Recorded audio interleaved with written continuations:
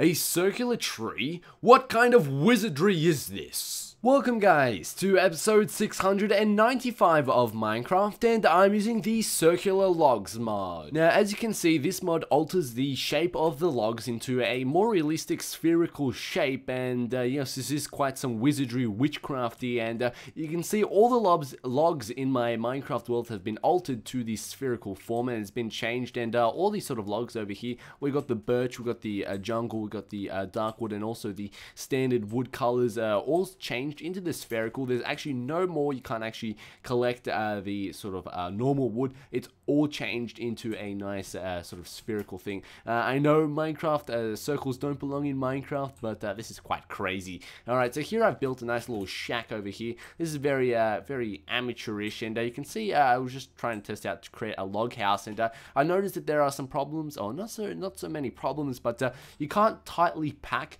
the, um, logs i know that's uh, that's what she said joke but uh, you can see there's uh, big gaps. And the one thing that i want to check out is if the roof will leak. Uh, technically the roof shouldn't be able to leak but uh, it'll be interesting to see if the mod has actually thought of this. And uh, nope it's not leaking through so you can see here all i am is traveling around and looking at all the delicious trees that you can have. And you may be wondering can you place them flat? Yes you can. You can create all sorts of wacky designs. I know something will happen. Of course some genius will think of an awesome design design. Something along the lines of this, that's actually a pretty cool design. Um, if you make it, if you sort of expand it out, it may look like a sort of an illusion like so, but uh, you can see that it sort of joins on and sort of meshes together. I like that uh, sort of feature, so you can actually create posts and actual lamps with this uh, with this awesome looking feature. Now, I rate this mod an 8 out of 10 Fruit Loops. I love this mod. It's uh, really quite cool, really unique, and uh, something that uh, Minecraft has been not lacking, but sort of a more real realistic realistic approach to it. Now,